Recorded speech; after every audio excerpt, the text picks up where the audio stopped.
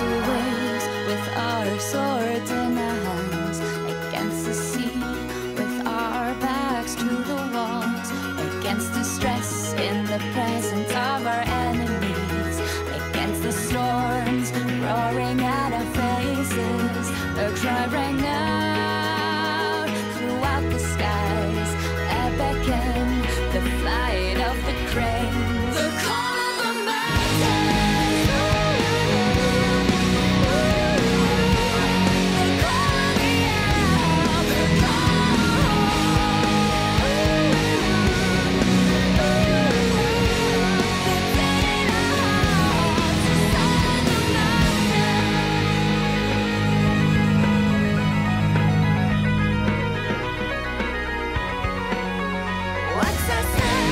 so blatant.